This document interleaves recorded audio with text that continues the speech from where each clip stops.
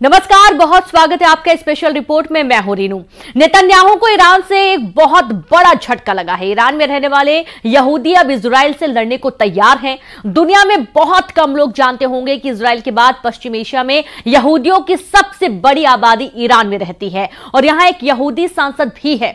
अब ईरान की इसी यहूदी सांसद ने इसराइल के प्रधानमंत्री नेतन्याहू को धमकी दी है और कहा है कि अगर ईरान पर हमला करने की कोशिश की तो इसराइल का वजूद ही मिट जाएगा।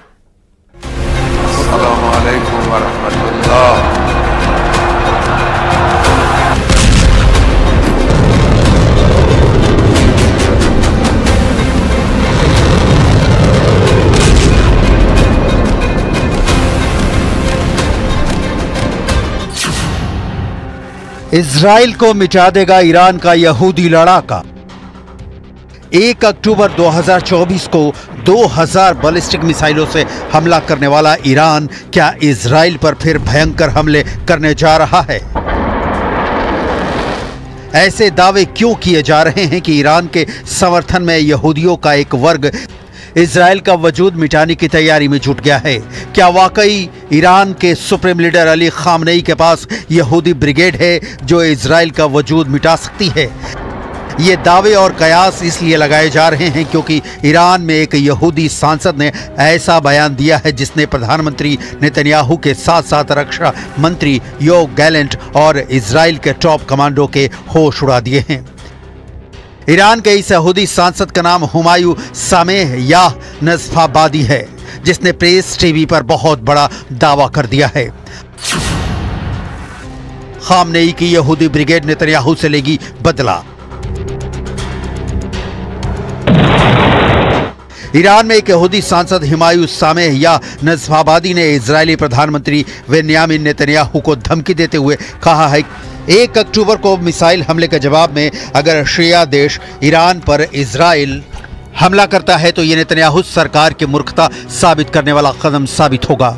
यहूदी सांसद हुमायूं ने नेतन्याहू सरकार को चेतावनी देते हुए प्रेस टीवी पर कहा है कि इसराइल को एक बार फिर से ईरान नया हमला करके चौंका सकता है। हुमायूं नसफाबादी ने यहाँ तक दावा किया है कि इसराइल की वजह से पूरे पश्चिम एशिया में चौतरफा युद्ध शुरू हो सकता है। इस वक्त इसराइल को दो तरफ़ से चुनौती मिल रही है। एक तरफ़ से हिजबुल्ला लगातार नॉर्थ इसराइल में हमला कर रहा है और दूसरी तरफ़ ईरान इसराइल पर एक बड़े हमले की तैयारी कर रहा है। समझा यही जा रहा है कि वो हमला एक अक्टूबर से बहुत ही ज़्यादा भयानक होगा। कई लोगों के दिमाग में सवाल कौद रहा होगा कि ईरान में यहूदी कहाँ से आ गए हैं और यहूदियों के कट्टर दुश्मन माने जाने वाले ईरान का साथ यहूदी क्यों देंगे? हम आपको एक चौंकाने वाला आंकड़ा दिखाते हैं जो साबित करता है कि ईरान में मौजूद यहूदी पूरी तरह से ईरान के सुप्रीम लीडर अली खामनई के वफादार हैं। वो जितनी मोहब्बत अली खामनई से करते हैं, उससे कहीं ज़्यादा नफरत ईरान के यहूदी नेतन्याहू और इसराइल से करते हैं। जरा देखिए इस वक्त ईरान में कितने यहूदी रह रहे हैं। साल 2022 में जारी हुए आंकड़ों के मुताबिक ईरान में इस वक्त 9,200 से ज़्यादा यहूदी रहते हैं। पश्चिमी एशिया में इसराइल के बाद सबसे ज़्यादा यहूदी ईरान में ही रहते हैं। 1948 तक ईरान में एक लाख यहूदी रहा करते थे लेकिन बदले हालातों की वजह से अब ईरान में 9,200 यहूदी बचे हैं। ईरान में रहने वाले यहूदियों को ईरान का वफादार माना जाता है। इसीलिए ईरान के यहूदी सांसद हुमायूं सामेह या नजफाबादी दावा कर रहे हैं कि ईरान को इसराइल नहीं हरा पाएगा।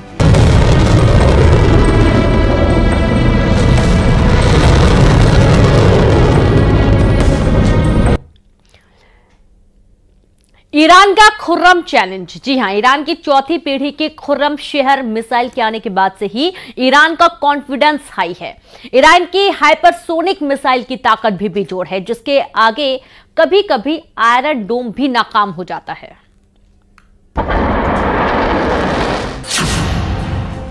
खामनेई का खुर्रम चैलेंज। ईरान को हराने वाला पैदा नहीं हुआ। एक अक्टूबर को इसराइल पर मिसाइलों की बारिश करने वाले खामनेई भी अब आर पार की जंग करने को आमादा हो चुके हैं। मिडिल ईस्ट के दावों के मुताबिक ईरान को लग रहा है कि अगर इसराइल पर जल्दी ही दोबारा अटैक नहीं किया तो इसराइल ईरानी सेना के टॉप कमांडर और नेताओं को भी उसी तरह से टारगेट किलिंग कर सकता है, जैसे हमास और हिजबुल्ला के धाकड़ नेताओं और कमांडरों को मारा गया है। इसलिए ईरान ने अपनी मिसाइल ताकत के दम पर इसराइल पर भयंकर हमले की तैयारी पूरी कर ली है। खासतौर से हाइपरसोनिक मिसाइलों से ईरान इसराइल पर कभी भी दोबारा हमला कर सकता है। अब आप जरा ये जान लीजिए खामनई मिसाइलों से ही इसराइल पर हमला करने पर क्यों उतारू हैं? ईरान का जरा ये वीडियो देखिए। इस वीडियो के बारे में ईरान का दावा है कि ये सुरंग बंकर ज़मीन से 500 मीटर की गहराई में एक पहाड़ी के नीचे मौजूद है। इस सुरंग बंकर में ईरान के एफ़ फोर फैंटम जेट से लेकर क्रूज, बलिस्टिक और हाइपरसोनिक मिसाइलों को साफ़ देखा जा सकता है। इस वीडियो में यह भी दिखाया गया है कि ईरान की मिसाइलें ज़बरदस्त हमला करने जा रही हैं। ईरान की ये मिसाइलें हर तरफ़ से लॉन्च हो रही हैं। Center for strategic and international studies यानी सीएसआईएस में मिसाइल थ्रेड प्रोजेक्ट की 2021 की रिपोर्ट के मुताबिक ईरान के पास हज़ारों बलिस्टिक और क्रूज मिसाइलें हैं, जिनकी रेंज अलग अलग है। इसी साल अप्रैल 2024 में इसराइल पर किए गए ईरान के पहले हमले के बाद ईरानी न्यूज़ आउटलेट आईएसएनए और द ईरान प्रीमियर के ज़रिए ईरान की मिसाइल क्षमता के बारे में जानकारी दी थी, जिसमें ईरान के ऐसी नौ मिसाइलों को दिखाया गया था जो इसराइल को पूरी तरह से तबाह कर सकती हैं। और ईरान ने ऐसा करके भी दिखा दिया है। हम आपको बता दें कि अमेरिकी वायुसेना के जनरल कैनेथ मैकेजी ने 2023 में कांग्रेस को बताया था कि ईरान के पास 3000 से ज़्यादा बलिस्टिक मिसाइलें हैं। ये रिपोर्ट ढाई साल पहले की है। अब तो और भी ज़्यादा बलिस्टिक मिसाइलें ईरान के पास हो सकती हैं। कुछ रिपोर्ट में तो यहाँ तक दावा किया गया है कि ईरान के पास दो लाख से ज़्यादा मिसाइलें हैं जो इसराइल को आसानी से तबाह कर सकती हैं।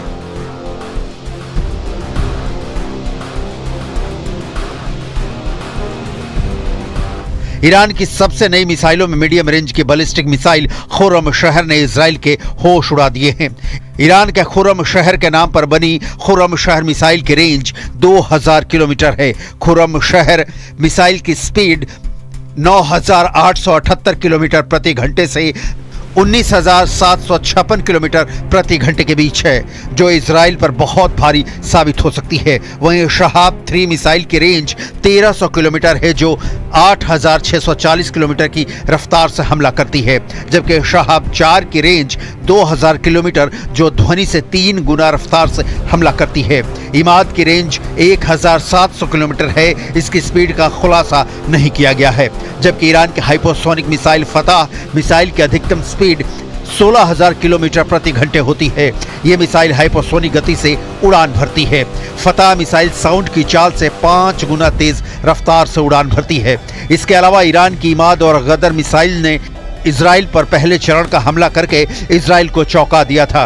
वहीं ईरान के खैबर शेकर ने इसराइल के तीन सैन्य अड्डों को एक अक्टूबर के दिन ज़बरदस्त नुकसान पहुँचाया था। वहीं ईरान की हज कासिम मिसाइल भी इसराइल के ताबूत में आखिरी किल ठोक सकती है। हज कासिम की रेंज 1400 किलोमीटर है। ईरान के मिसाइल हमले के भीषण खतरे को देखते हुए अमेरिका और इसराइल ने युद्ध स्तर पर रणनीति तैयार की है। सूत्रों के मुताबिक अमेरिका और इसराइल में एक सीक्रेट डील हुई है, जिसके तहत इसराइल फ्रंट पर रहकर ईरान के अंदर हमले करेगा और अमेरिका ईरान के अंदर गृह युद्ध की आग भड़काएगा। अमेरिका और इसराइल ने मिलकर ईरान के खिलाफ इस टू फ्रंट वार की तैयारी पूरी कर ली है। 10 अक्टूबर को देर रात इजरायली सिक्योरिटी कैबिनेट की बैठक हुई। इस सिक्योरिटी कैबिनेट की बैठक में ईरान पर हमलों के मुद्दों पर वोटिंग हुई। पूरी कैबिनेट ने ईरान पर हमले का समर्थन किया है इस बैठक को ईरान पर हमलों से पहले अंतिम बैठक कहा जा रहा है संकेत साफ है कि इसराइल के प्लान में अब कोई बदलाव नहीं होने वाला है इसराइल के रक्षा मंत्री यो गैलेंट ने सबसे विनाशक संकेत दिए हैं गैलेंट ने कहा है कि स्वर्ग के द्वार खुल चुके हैं सही समय आ चुका है इस बयान का मतलब माना जा रहा है कि इसराइल ईरान के परमाणु संयंत्रों पर हमले करने वाला है כי הם לא היו התקפות מדויקות. חיל האוויר לא נפגע, כל המסלולים פועלים.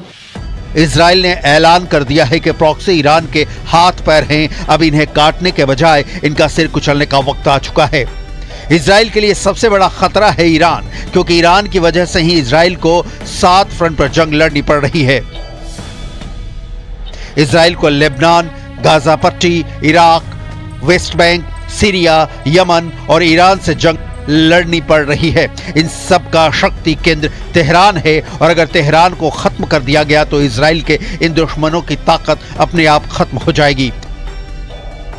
अब देखना होगा, ईरान इसराइल पर पहले बड़ा हमला करता है या फिर इसराइल ईरान का वही हाल करेगा जो गाजा और लेबनान का इस वक्त हो रहा है।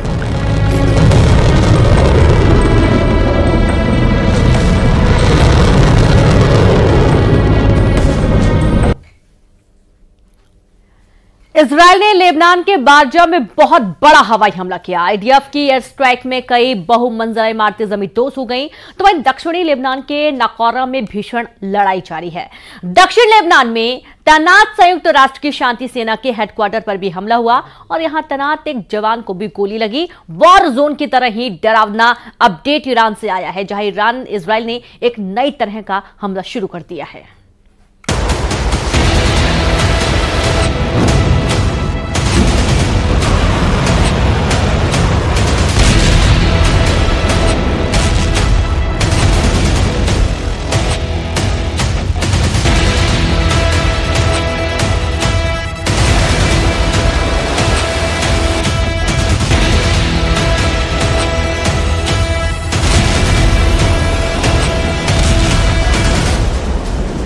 एक अक्टूबर को ईरान ने जहाँ टारगेट सेट किए थे, वहीं पर 200 मिसाइलें गिरी, फटी और इसराइल धुआँ धुआँ हो गया।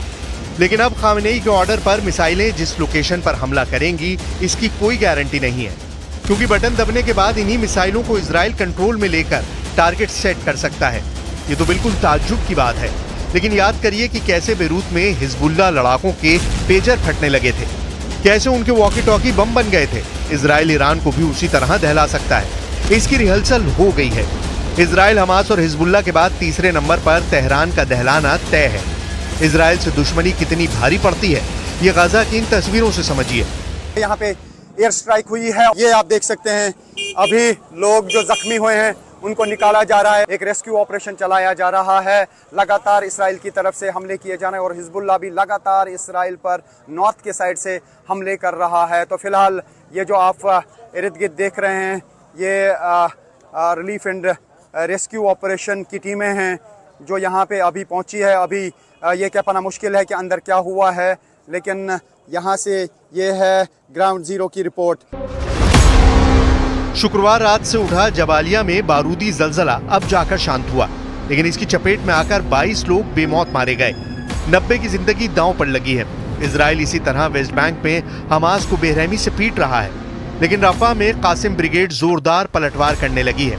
कासिम ब्रिगेड ने इसराइल के दो टैंक और बुलडोजर के चीथड़े उड़ा दिए हैं। अल जनैना इलाके में यासीन 105 एंटी आर्मर विस्फोटक गोले का इस्तेमाल करके इजरायली सेना के दो मरकावा टैंक और एक डी नाइन बुलडोजर को बर्बाद किया गया है। हालाँकि हमास और हिजबुल्ला दोनों को तेहरान से आए अलर्ट ने सन कर दिया है। ईरान में 11 अक्टूबर को कुछ ऐसा हुआ, जिससे ईरान की मिसाइल लॉन्च तो होगी, लेकिन फटेगी वहाँ जहाँ नेतन्याहू चाहेंगे। हिजबुल्ला के रॉकेट उड़ेंगे, लेकिन फटेंगे वहाँ जहाँ इसराइल की आर्मी तय करेगी। हमास और हूती के हथियारों का यही हाल होने वाला है। इसराइल के दुश्मन अब अपने ही हथियारों से जलेंगे। नेतन्याहू ने साइबर युद्ध शुरू कर दिया है। इसराइल हाईटेक लड़ाई से सभी दुश्मनों का सफाया करने जा रहा है। पहले गजा, फिर बेरूत। और अब तेहरान का नंबर। इसराइल के टारगेट सेट है, टाइमिंग फिक्स है, तबाही का लेवल भी लॉक है। एक एक कर दुश्मनों का सफाया, शहरों की बर्बादी, दुश्मन ग्रुप की पूरी लीडरशिप का खात्मा। नेतन्याहू ने हमास और हिजबुल्ला को जिस तरह कुचला है, उससे भी खौफनाक अंजाम ईरान को भुगतना पड़ सकता है। इसका ट्रेलर 11 अक्टूबर को इसराइल ने दिखा दिया है। शनिवार को ईरान की वर्ल्ड लाइफलाइन हैक कर दी गई थी। इसराइल ने ऐसा कुछ किया, जिससे तेहरान में कोहराम मच गया। आधी रात को इसराइल वॉर रूम ने यह मैसेज सोशल मीडिया पर पोस्ट कर तेहरान को थ्रेट से अलर्ट भी कर दिया है। ईरान में साइबर अटैक हुआ। इस अटैक के मायने क्या है? क्या ईरान में सब कुछ इसराइल कंट्रोल कर सकता है? डिटेल डरावनी है। इसराइल के दुश्मनों के लिए भयानक। जानेंगे नेतन्याहू का most powerful war plan 200 missile हमलों के बाद का पूरा ब्लूप्रिंट मगर वॉर जोन का ये विध्वंसक दृश्य देखने चलिए। हाइफा, गैलीली और लेबनान बॉर्डर पर इसराइल की ज़मीन जल रही है। देख सकते हैं तस्वीरों में कि ये जो घर है, वो पूरी तरह से उजड़ गया है और कुछ ऐसे मिसाइल और रॉकेट प्रोजेक्टाइल होते हैं जो बासिंदे जो यहाँ के हैं इसराइली उनके घरों तक पहुँच जाते हैं। अब आप देखिए तस्वीर कि जो यहाँ पर मिसाइल गिरी, उसकी वजह से ये जो सोलर सिस्टम है, पानी गर्म करने के लिए बेसिकली ये सोलर सिस्टम है, वो पूरी उसके कांच जो है टूट गए हैं, बिखर गए हैं। देखिए, कांच के टुकड़े आपको दिखाई दे रहे हैं। ये सोलर सिस्टम पूरी तरह से नष्ट हो गया है।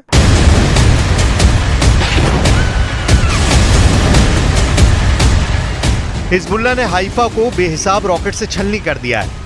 रॉकेट स्ट्राइक देर रात में शुरू हुई और भोर तक इसराइल को झुलसाती रही। जब हाइफा में रॉकेट फट रहे थे, तब बेरूत में भी बारूदी धमाके से धरती थर्रा रही थी।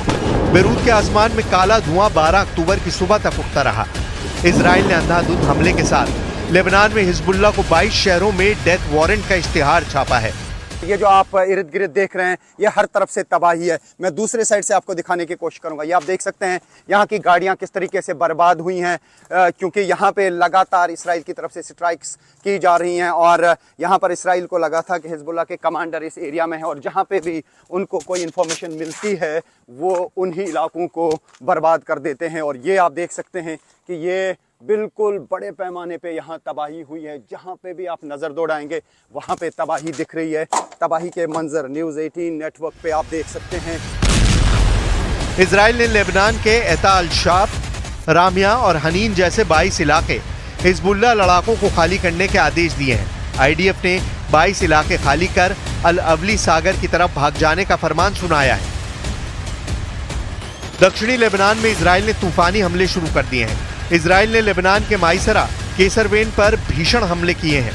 दक्षिण लेबनान के बारजा में भी आईडीएफ ने जंगी जेट से बेहिसाब बम बरसाए हैं। उधर बेरूत में भी इसराइल बारूद की मात्रा कम नहीं पड़ने दे रहा है। इस बीच बेरूत में मारे गए हिजबुल्ला के टॉप कमांडर्स और ईरान के कमांडर के शवों की शिनाख्त भी हो गई है। ईरान की इस्लामिक रेवोल्यूशन गार्ड्स कॉप्स के top commander Abbas Nilforoushan की डेड बॉडी भी मिल गई है। आईआरजीसी कमांडर अब्बास की मौत नसरल्ला पर हुए हमले में हुई थी। कितनी तबाही हुई है यहाँ पे। मैं यहाँ से दिखाने की कोशिश करूँगा आपको कि यहाँ पे रॉकेट गिरे हैं और रॉकेट की वजह से आप देख सकते हैं बिल्डिंग्स में यहाँ पर क्या तबाही हुई है। सब कुछ बिखरा पड़ा है और कई लोगों की मौत हुई है इस हमले में और लगातार इसराइल की तरफ़ से रॉकेट्स दागे जा रहे हैं और हिजबुल्लाह की तरफ़ से भी अटैक किए जा रहे हैं।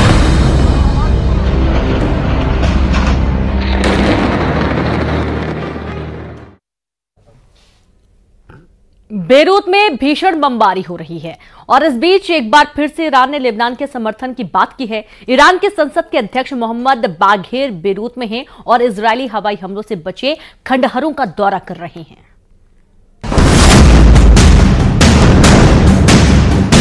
बेरूत की बर्बादी की तस्वीरें ईरान के संसद के अध्यक्ष मोहम्मद बागेर गालिबफ ने भी महसूस की।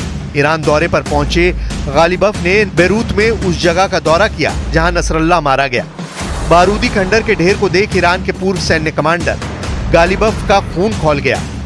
गालिबफ ने नसरल्ला की मौत की जगह से ऐलान किया है कि सुप्रीम लीडर खामनेई ने इसराइल की तबाही तक हिजबुल्ला का युद्ध में साथ देने का ऐलान किया है। अपने भाषण के बाद गालिबफ ने लेबनान के कार्यवाहक प्रधानमंत्री नजीब मिकाती से मुलाकात की है। इस बैठक के बाद हिजबुल्ला के media officer Haj Mohammad Afif ने नेतन्याहू को डायरेक्ट धमकी दी है।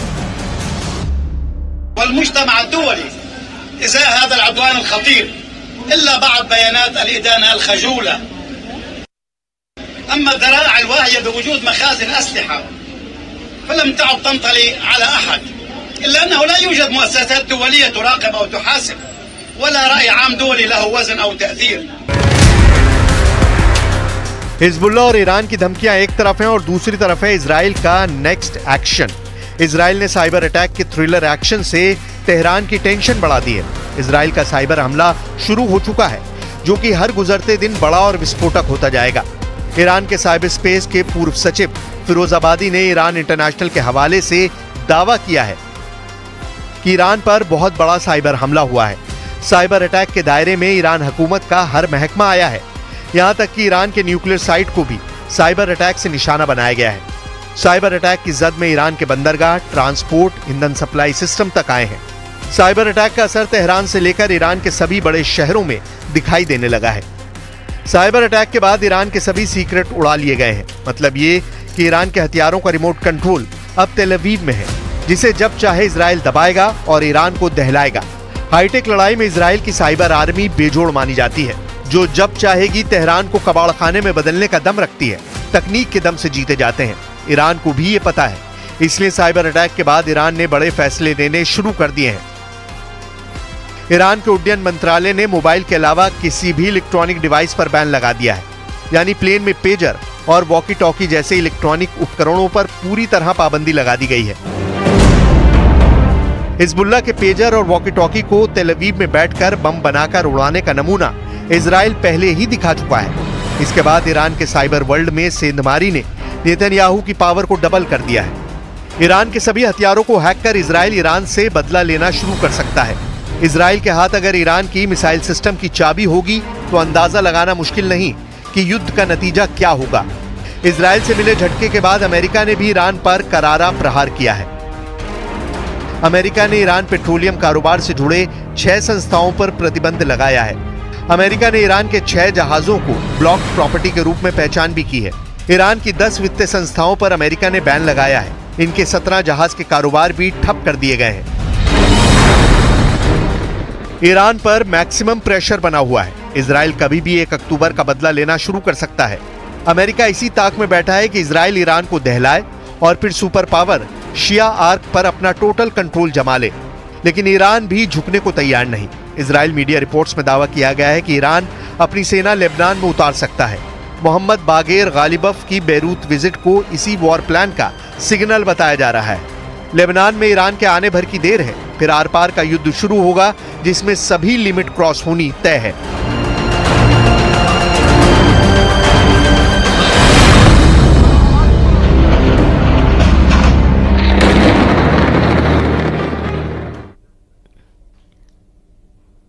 इसी के साथ स्पेशल रिपोर्ट में इतना ही। नमस्कार।